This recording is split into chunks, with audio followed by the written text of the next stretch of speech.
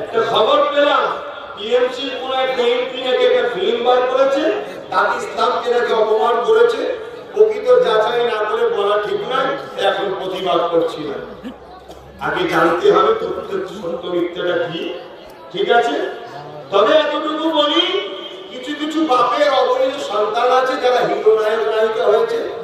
কিছু বাপের অবৈধ সন্তান আছে সর্বসময় ঘুরিয়ে ঘুরিয়ে ঘুরিয়ে ঘুরিয়ে মুসলমান আর ইসলাম ফিরিয়ে ছাড়া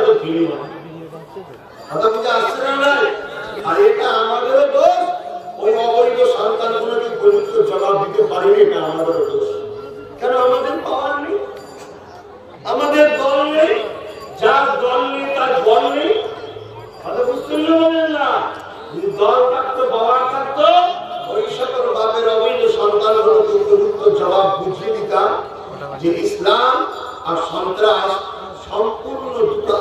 জিনিস সন্ত্রাসকে একমাত্র জব্দ সন্ত্রাস মুক্ত সমাজ ইসলামই করেছে। জোরে বলুন আবু জেলের মতো সন্ত্রাসকে ঠান্ডা করেছে ইসলাম, উলমার মতো সন্ত্রাসকে ঠান্ডা করেছে ইসলাম।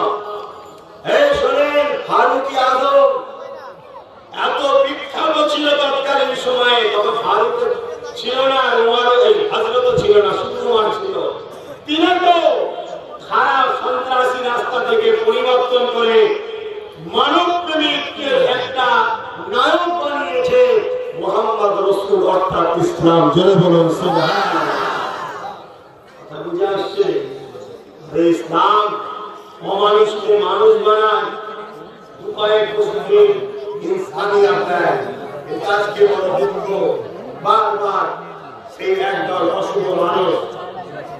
সমাজ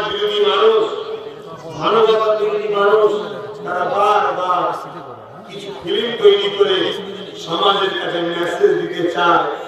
যে দাঁড়িয়ে টুপি মানেই হলো ওদের কাছে বোম পাওয়া? অথচ আমরা যাকে শ্রেষ্ঠ গুরু কবি হিসেবে বলি, বাংলা ভাষায় অ্যাকচুয়ালি কাজী ইসলাম বলা হয় যাকে রবীন্দ্রনাথ টেগর, তার উপর দাঁড়িয়ে আছে আব্বাস সিদ্দিকীকে মনে হয় এখনও পঞ্চাশ বছরের করতে কথা বুঝছেন না? বুঝলেন তাহলে বুঝতে পারছেন তো। আর আজকে আমাদের আর একজন কবি কবি ভাব অভাব।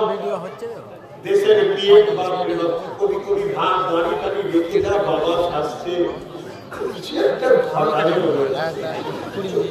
কি করবে বাংলায় কথা বুঝছেন না বলছেন? কখন যে কি ঘের হচ্ছে? যাক আমার দেশকে আমার মহান স্রষ্টা রব্বুল হেফাজত করুন। আমিন।